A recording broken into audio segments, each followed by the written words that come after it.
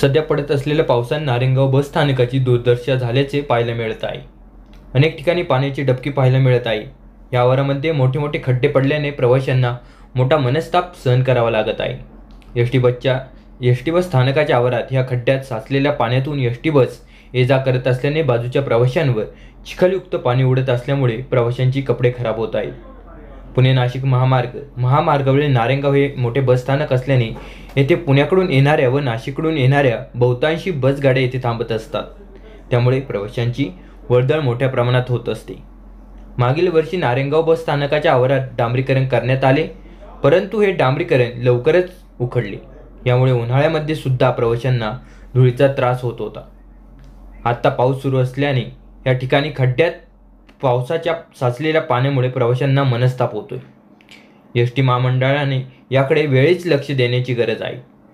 दरम्यान या संदर्भात नारेंगाव आग्राचे प्रमुख वसंत आरगडे यांच्याशी भ्रमणध्वनीवरून संपर्क साधला असता ते म्हणाले की एक वर्षापूर्वी पावसाळ्याच्या अगोदर नारेंगाव बस स्थानकाचे आवारातील मोकळ्या जागेत डांबरीकरण केले होते. परंतु ते काम व्यवस्थित झाले नाही. त्याचा फटका प्रवाशांना बसला.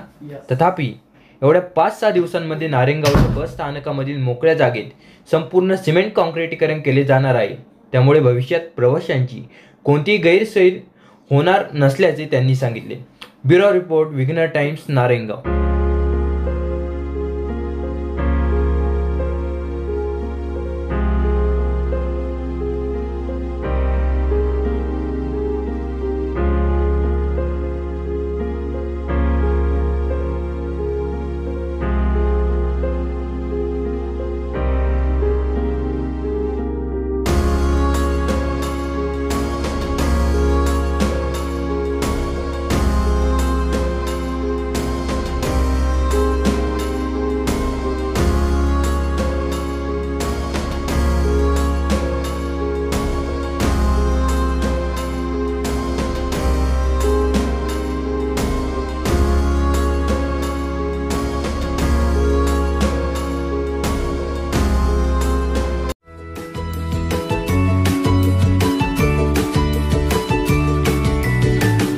बातम्या शेतीच्या.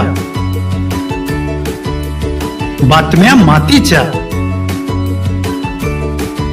बातम्या अन्यायाच्या. गुन्हेगारीच्या.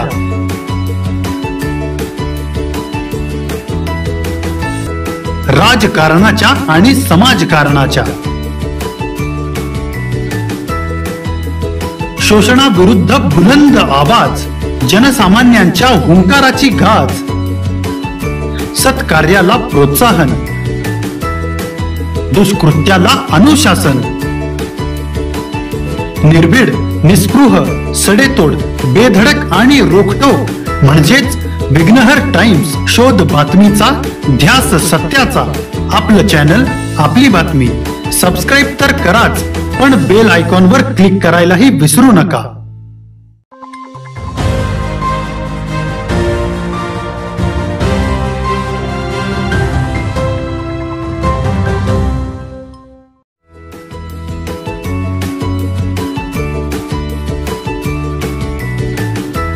बातम्या शेतीच्या. बातम्या मातीच्या.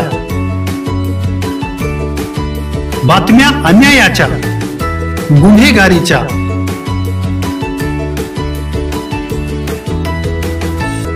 राजकारणाच्या आणि समाजकारणाच्या.